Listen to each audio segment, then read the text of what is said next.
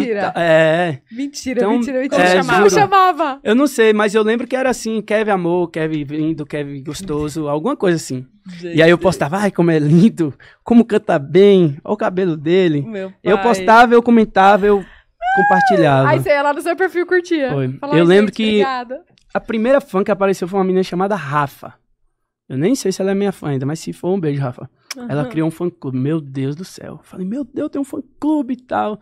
E, caramba, eu acho que teve até uma pesquisa de um cara que trabalha com o Luan Santana, que ele falou que hoje, do, do país, eu sou um dos artistas que tem mais fã-clubes cadastrados, né? Caraca. É. Caraca.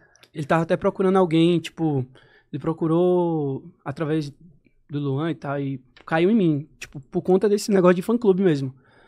É tudo os são- fake dele, né? Facu? Tudo, Pois tudo, é, tipo, tudo dele, o uns cadastro. Tem mil. mais e-mail, Mesmo né? IP. mesmo, IP, mesmo, mesmo e-mail. Todo E a mundo. Rafa, sabe quem era? A Paula, a mãe dele. E aí foi, foi o que aconteceu. A Rafa chegou e aí brotou assim, ó. Prum. Ai, que delícia. Caraca, que É. demais.